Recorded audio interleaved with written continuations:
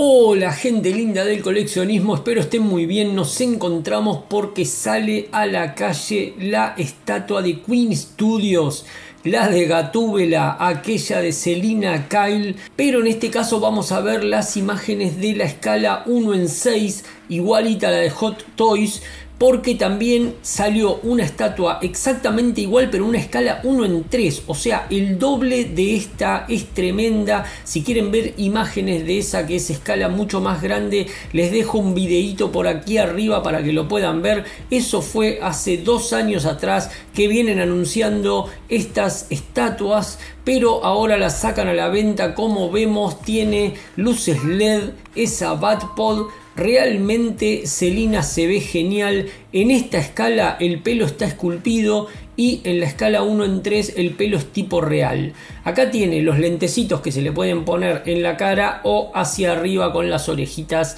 como le queda espectacular.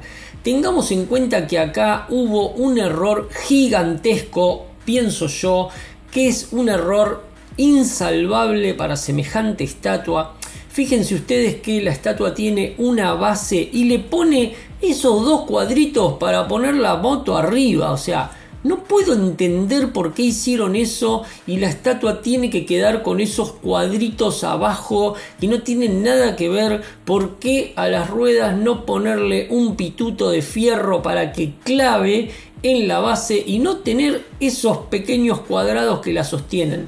Increíble que semejante marca como Queen Studios haga eso, no lo puedo entender. Yo no sé si el que diseñó esta estatua no es coleccionista, pero a quién le gustaría tener esa, ese tipo de base.